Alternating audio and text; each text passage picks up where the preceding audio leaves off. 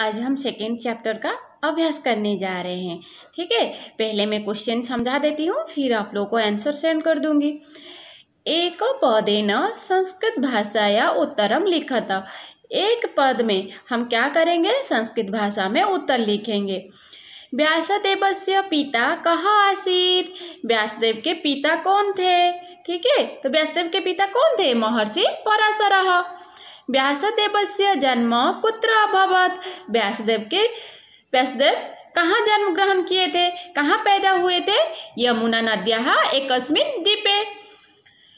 व्यासदेव कुत्र तप करत? व्यासदेव कहाँ तप कर रहे थे? कहाँ तपस्या कर रहे थे? बदरिकाश्रमे। व्यासदेव कस्य निकटम अगछत व्यासदेव किसके पास गए थे? श्री गणेश देवस्य पास। श्री गणेश देवस्य निकटम। व्यासदेव मध्य मध्य कीदृशम श्लोकम रचयति स्म। व्यासदेव बीच बीच में कैसा श्लोक रचना कर रहे थे? कुटो श्लोक। ठीक है? कठिन श्लोक, कुटो श्लोक। फिर क्वेश्चन नंबर टू रिक्त स्थानम पूरयता। मतलब ये रिक्त स्थान को भरना है। महर्षि व्यासदेव भारत से ड्यास आसित। महर्षि व्यासदेव भारत के क्या थे? अद्वितीय महापुरुष।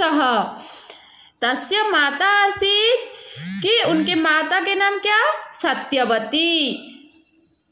महर्षि व्यासदेव एवं व्यास रचयिता। महर्षि व्यासदेव क्या रचना किए थे? महाभारत ग्रंथ से रचयिता। महाभारत ग्रंथ रचना किए थे। अतः बुद्ध जना कथयंती बुद्धिमान लोग, ज्ञानवान लोग क्या कहते हैं? यदि हस्ती जो है तद अन्यत।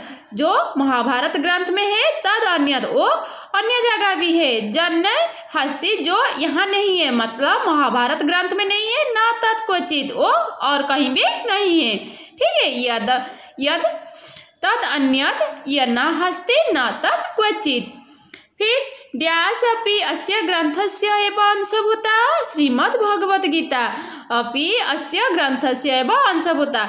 इस ग्रंथ का एक अंश है, महाभारत ग्रंथ का अंश है। क्या अंश है? श्रीमद् भगवत गीता भी महाभारत ग्रंथ का एक अंश है। ठीक है क्वेश्चन नंबर थ्री देखो।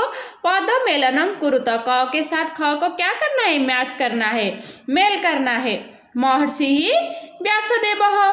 पिता, उनके पिता क्या, कौन थे? पराशर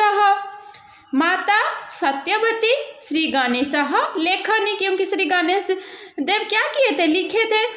बदरिका आश्रम में बादरायण। वो बदरिका आश्रम में तपस्या किए थे, इसीलिए उनके नाम क्या था? बादरायण यमुना नदिया, यमुना नदी में एक द्वीप में, यमुना नदी के एक द्वीप में, एक किनारा में वो क्या किए थे? पैदा हुए थे, जन्म ग्रहण किए थे, यमुना नदी दीप ठीक है?